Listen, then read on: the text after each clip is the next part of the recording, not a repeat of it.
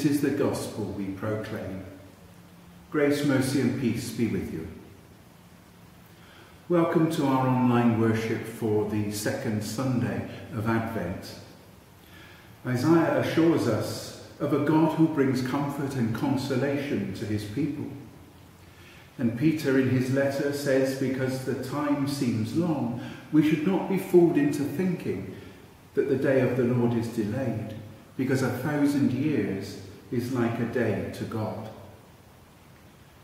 In our Gospel reading, we hear the message of John the Baptist, that Jesus will come after him and will baptize with the Holy Spirit.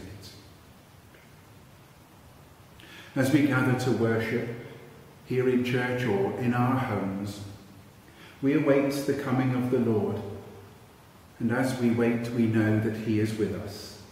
Through word and sacrament, he heals us and draws us into fellowship with him and with one another. Prepare a way for the Lord. Make his path straight.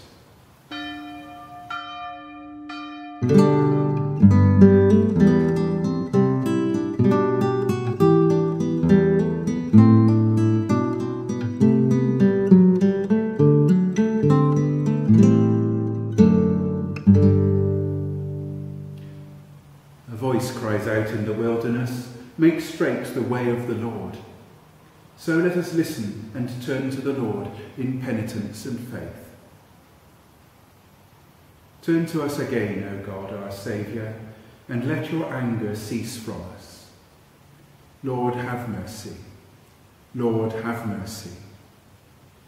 Show us your compassion, O Lord, and grant us your salvation. Christ, have mercy. Christ, have mercy. Your salvation is near for those that fear you, that glory may dwell in our land. Lord, have mercy. Christ, have mercy.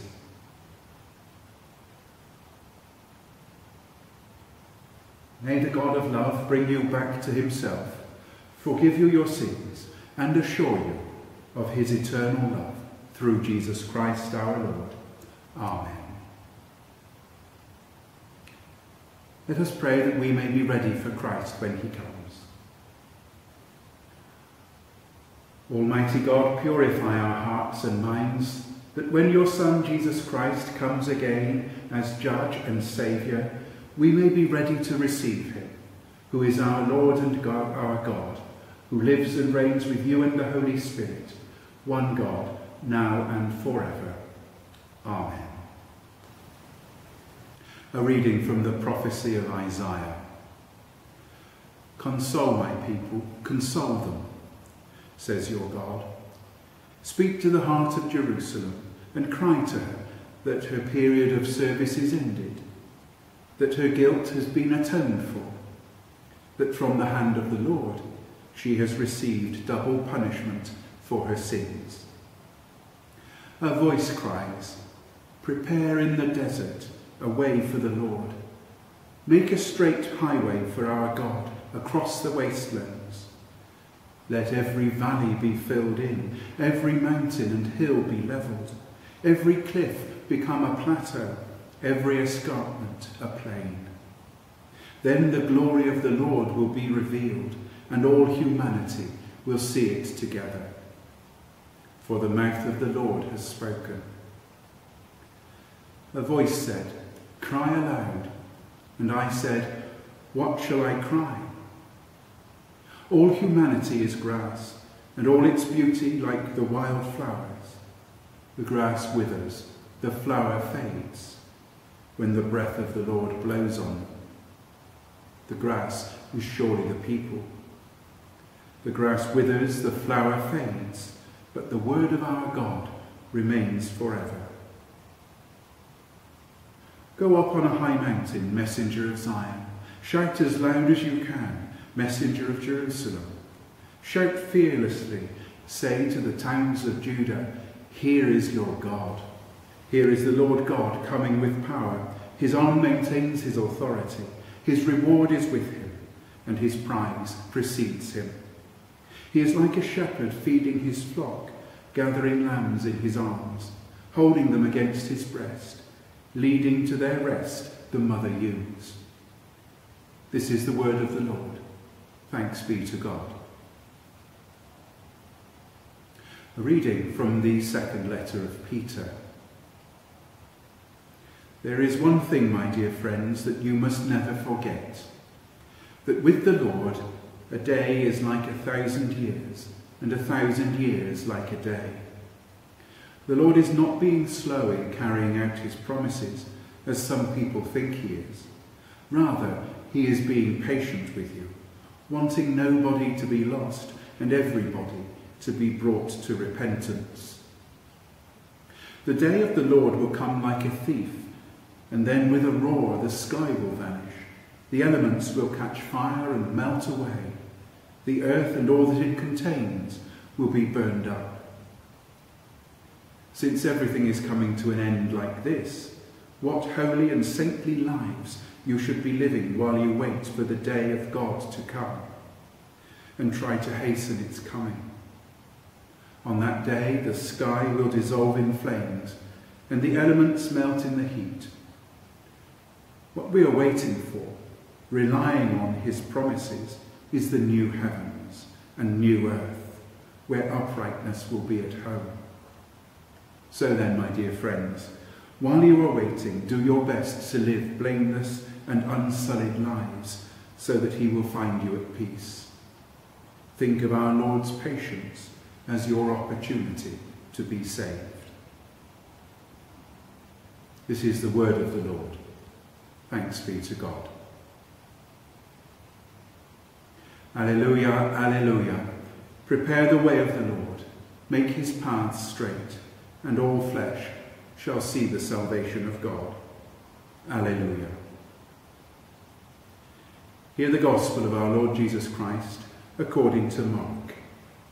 Glory to you, O Lord. The beginning of the gospel of Jesus Christ, the Son of God. It is written in the prophet Isaiah, Look, I am going to send my messenger in front of you to prepare your way before you. A voice of one that cries in the desert, Prepare a way for the Lord, make his paths straight. John the Baptist was in the desert, proclaiming a baptism of repentance for the forgiveness of sins.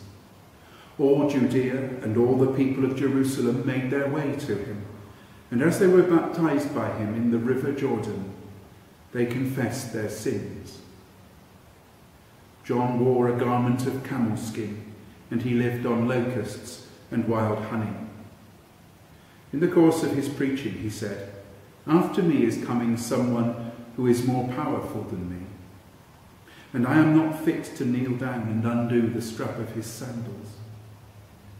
I have baptized you with water, but he will baptize you with the Holy Spirit. This is the gospel of the Lord. Praise to you, O Christ. In the name of the Father, and of the Son, and of the Holy Spirit. Amen.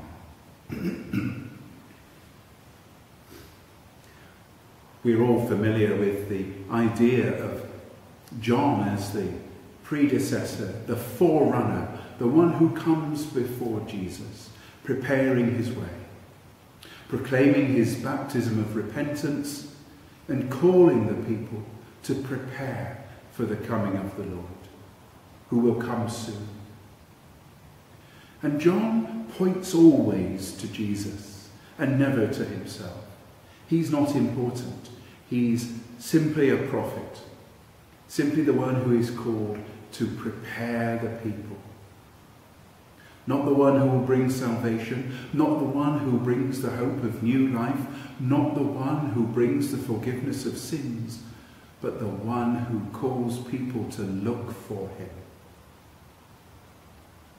And John is a good example to us as we live in our modern world where, to be honest, most people seem indifferent at best to the gospel of Jesus Christ, and at worst openly hostile and critical of those who are his followers and of the truth that we hold about Jesus and what he has achieved.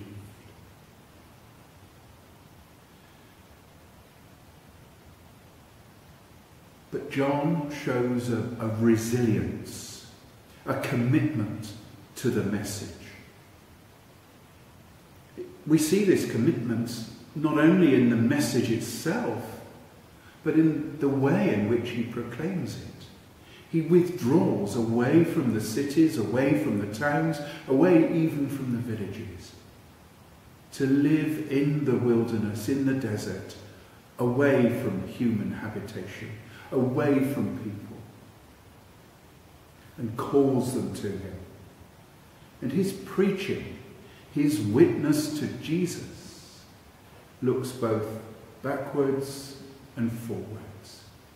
Backwards in that it recalls the message of the greatest of all the prophets, or at least the prophets of whom we have a book, Isaiah. The message that he preaches, prepare a way for the Lord, is Isaiah's message too. And it's a message that has resonated and rung through the ages for the people of Israel. Prepare for the coming of the Lord. Prepare for the day of the Lord.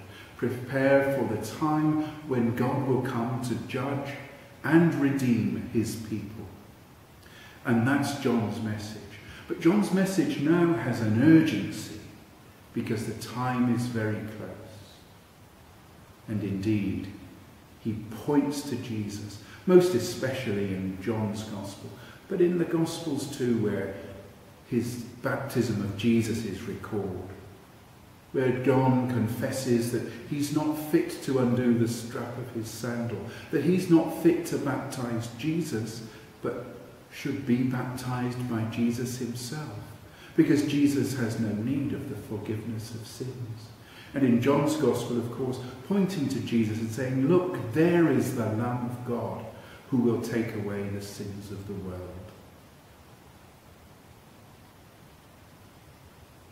John commits himself to proclaim that message and nothing else.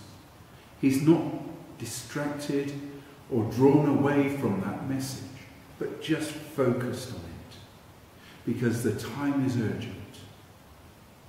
Jesus is among us.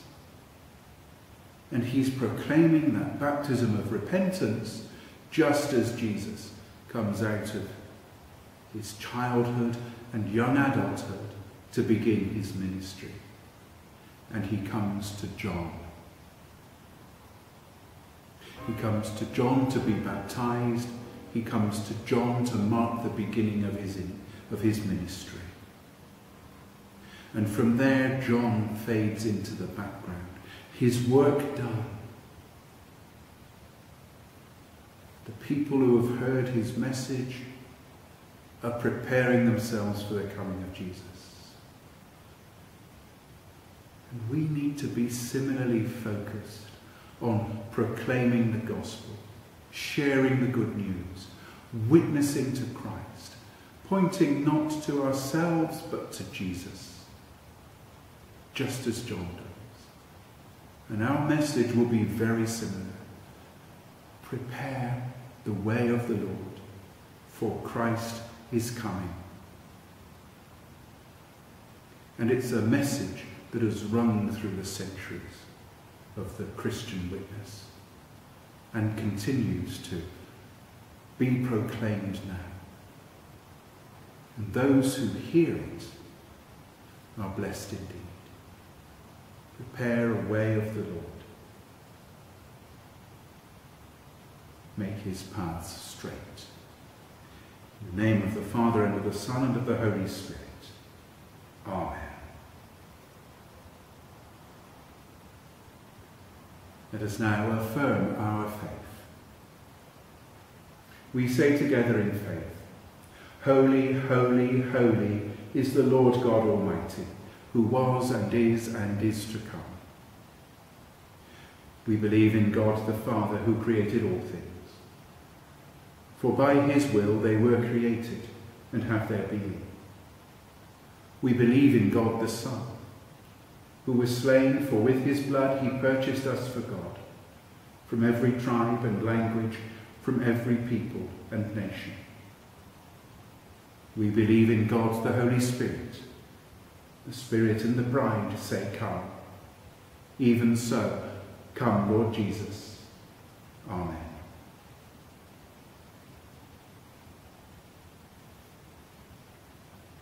Watchful at all times. Let us pray for strength to stand with confidence before our Maker and Redeemer. That God may bring in his kingdom with justice and mercy. Let us pray to the Lord. Lord, have mercy. That God may establish among the nations his sceptre of righteousness. Let us pray to the Lord. Lord, have mercy. That we may seek Christ in the Scriptures and recognize him in the breaking of the bread. Let us pray to the Lord. Lord, have mercy. That God may bind up the broken-hearted, restore the sick, and raise up all who have fallen. Let us pray to the Lord. Lord, have mercy. That the light of God's coming may dawn on all who live in darkness and the shadow of death. Let us pray to the Lord. Lord, have mercy. That with all the saints in light, we may shine forth as lights for the world. Let us pray to the Lord. Lord, have mercy. We commend ourselves and all for whom we pray to the mercy and protection of our Heavenly Father.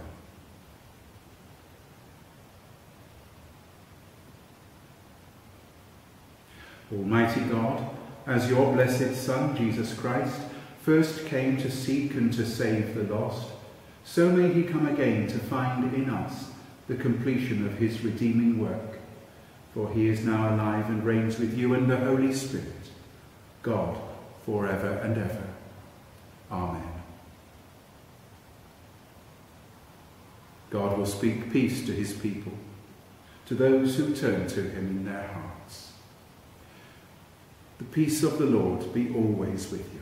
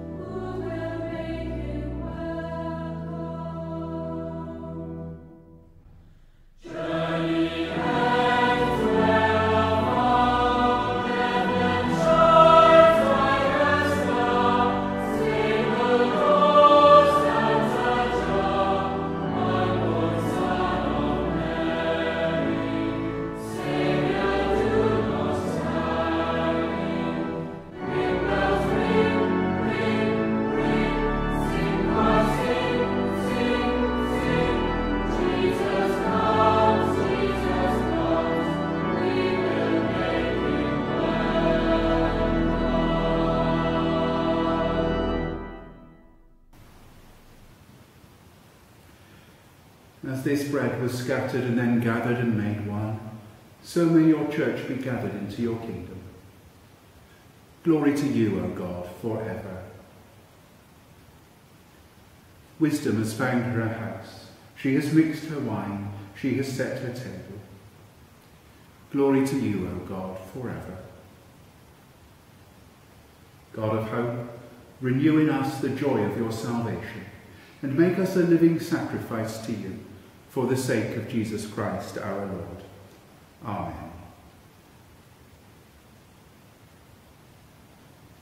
The Lord is here. His Spirit is with us. Lift up your hearts. We lift them to the Lord. Let us give thanks to the Lord our God. It is right to give thanks and praise. It is indeed right and good to give you thanks and praise, Almighty God and everlasting Father, through Jesus Christ your Son. For when he humbled himself to come among us in human flesh, he fulfilled the plan you formed before the foundation of the world, to open for us the way of salvation.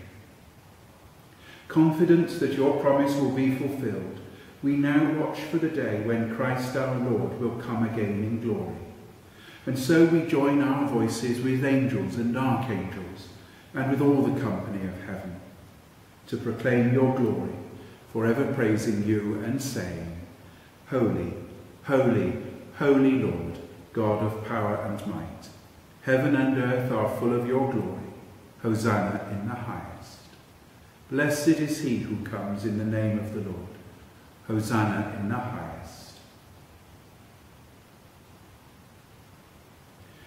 Lord, you are holy indeed, the source of all holiness. Grant that by the power of your Holy Spirit and according to your holy will, these gifts of bread and wine may be to us the body and blood of our Lord Jesus Christ, who in the same night that he was betrayed took bread and gave you thanks. He broke it and gave it to his disciples, saying, Take, eat, this is my body which is given for you. Do this in remembrance of me.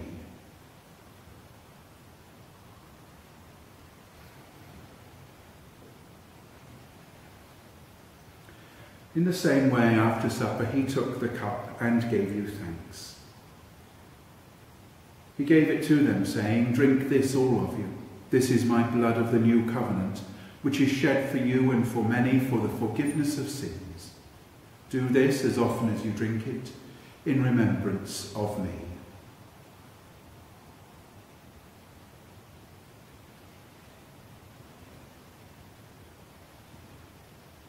Praise to you, Lord Jesus. Dying, you destroyed our death. Rising, you restored our life. Lord Jesus, come in glory.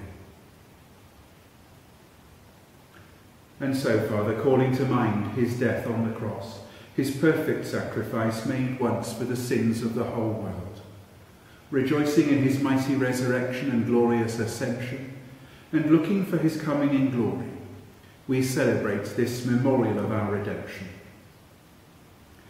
As we offer you this, our sacrifice of praise and thanksgiving, we bring before you this bread and this cup, and we thank you for counting us worthy to stand in your presence and serve you. Send the Holy Spirit on your people, and gather into one in your kingdom all who share this one bread and one cup so that we, in the company of the Blessed Virgin Mary, St. Peter and St. Paul, St. Andrew, St. Margaret of Antioch, and all the saints, may praise and glorify you forever, through Jesus Christ our Lord, by whom and with whom and in whom, in the unity of the Holy Spirit, all honour and glory be yours, Almighty Father, forever and ever. Amen.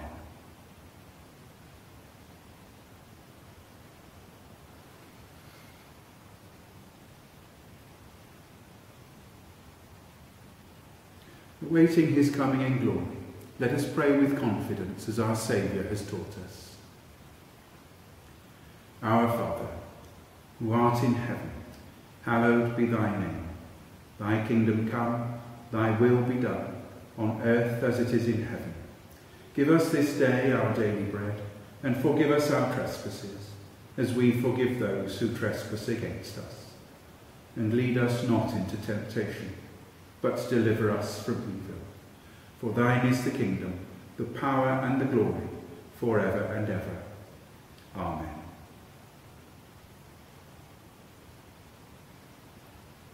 We break this bread to share in the body of Christ. Though we are many, we are one body, because we all share in one bread.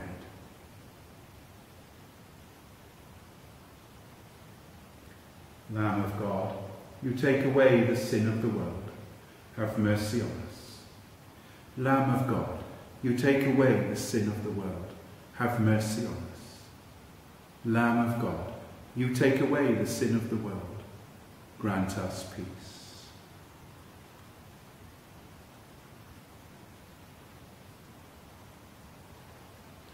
God's holy gifts for God's holy people. Jesus Christ is holy. Jesus Christ is Lord, to the glory of God the Father.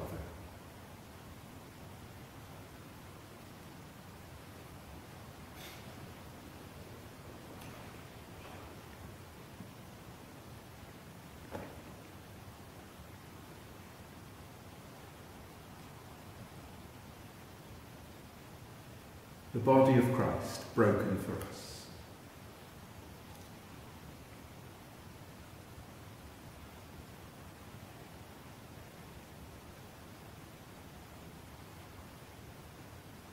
the blood of Christ shed for